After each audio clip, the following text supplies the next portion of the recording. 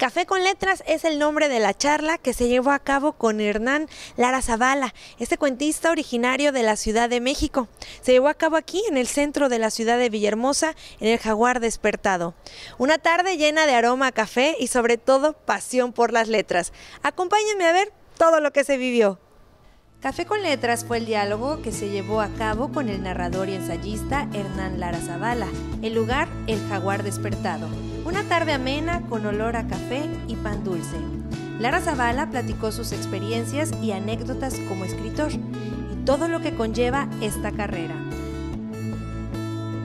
Eh, terminé ingeniería, me puse, no, empecé a estudiar simultáneamente letras y cuando empecé a estudiar letras cuando terminé de estudiar letras, eh, finalmente decidí quemar mis naves, eh, sacrificar un poco el ingreso económico, porque evidentemente como ingeniero pues tendría yo una mejor posibilidad económica, pero la verdad que la pasión enorme que me creaba la escritura, pues me, convenció de que debería hacer un esfuerzo y tratar de vivir de la literatura.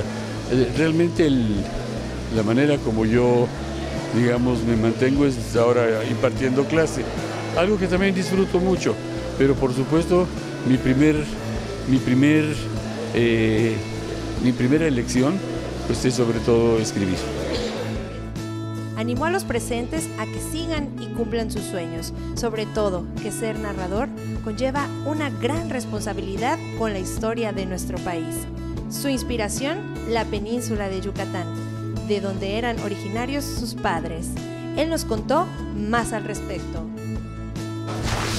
Gran parte de mi trabajo se ha centrado en explorar lo que significa la península de Yucatán en relación a México porque es un lugar inédito, es un lugar que no se parece a otro, eh, primero por la influencia de la cultura maya, después por su geografía, por su orografía.